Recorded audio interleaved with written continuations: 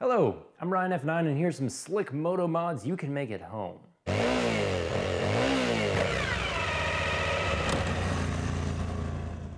The giving season is behind us, and also in my rear view, what to my wondering eyes should appear but a lovely homemade convex mirror.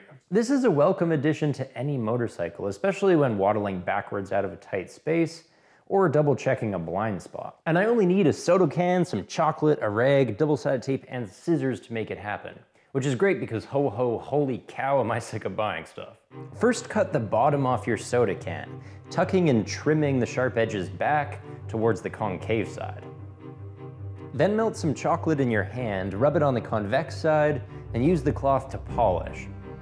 Keep going until you can see a bubbly reflection, otherwise this hack is literally useless. Once polished, you trace the mirror onto some double-sided tape. And after that, I'm gonna cut just outside the lines like a C student in first grade. The extra material will help to secure the double-sided tape to the edges of the mirror. After that, just slap it on. I've now got everything behind me in my own little fishbowl. Two thoughts. First, keep this hack in mind if you ever break down and get stranded, because by performing the same polish on the concave side, you can reflect the sun and start a fire. If you remember those sadistic little shits that used to burn ants with a magnifying glass, it works just like that. Second, you should know that it's possible to buy a convex sticky mirror for like seven bucks. Yes, it's easier, yes, it's better, it's definitely clearer, and by the time you buy a Coke and a Cadbury bar, it's pretty much the same price. But where's the fun in that? I'll tell you where. Whilst playing with shiny things, I torched my retinas. And now I get to wear these special glasses.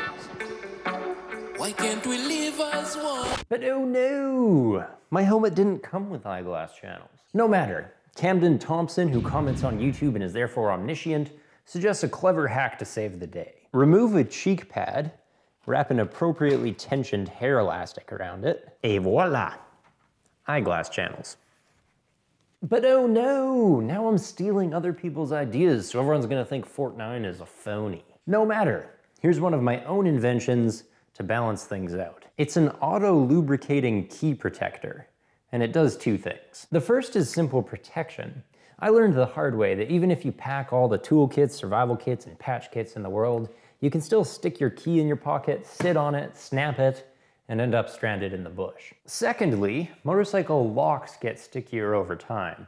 The gunk from the road mixes with the gunk from your pocket, and all of a sudden this doesn't work so good. Solution, take a sturdy reusable straw and then snip it to the appropriate length for your key.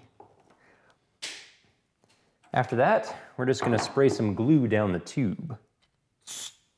Next, take some mechanical pencil refills which Gen Y kids will definitely remember from their childhood, and stick a bunch of them down the tube.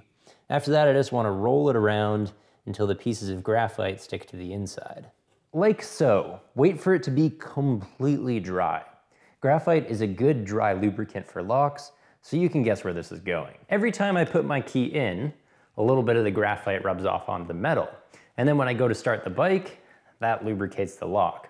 Now, meanwhile, the plastic tube just offers that much more protection for the key when it's in my pocket. The hardest part is just finding a straw that's the right diameter. One pro tip is to choose something with a little bit of elasticity, just because that's gonna help to keep the key snug. And now you know how to make the life-saving auto-lubricating key protector. But oh no! I spoke too soon and now my life is in danger all over again from a flat tire. No matter, most people know that you can use a bike's weight tilting onto the kickstand to break a bead. Of course, that's no help if I don't have a center stand as well. And what if I just have my kickstand? How do I break a tire then? Here's the hack. Take off your kickstand and look at the bottom. Most of these are hollow, so if you drill it out, you'll reveal the tube. Now I don't mind drilling through the foot because I put an aftermarket widener on the bottom of my side stand anyway. Otherwise, yes, if you drill up through the bottom of your kickstand, that will have it taking geology samples every time it touches down. Consider yourself warned. But with the hollow tube exposed, my kickstand can now act as a lengthening bar. I'm turning travel-sized tire irons into bead busters, or mini wrenches into axle nut breakers.